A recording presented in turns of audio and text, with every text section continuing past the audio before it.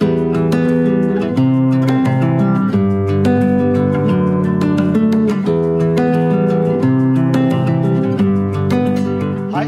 I am uh, Vaibhav. I am a senior buyer purchasing with the Volvo Construction Equipment. To bring value to end customers, we always look towards improvement for betterment in quality, delivery, and cost of our products. Parts or vendor localization is one of the key methods of achieving the same. This requires close collaboration with various stakeholders within Volvo as well as with our vendors. I was initially nervous about getting the localization done for metallic hydraulic tubes in Bangalore because uh, previous attempts to localize the key imported components had not went well.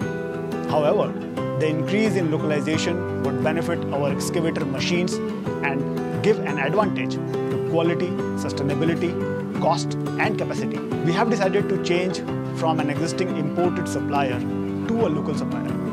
This requires much pre-work and loads of convincing ability to show what we believe is possible and achievable. At Volvo, we trust each other and love to collaborate passionately and drive performance. I was excited to work on this project because it offers many benefits to our business and customers. With each stage passing, the goal became clearer and felt achievable.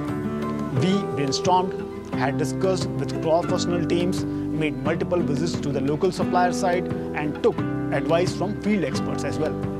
Today, our team is proud and have developed these parts locally in Bangalore so that our customers get the right part with the right quality and at the right time and cost.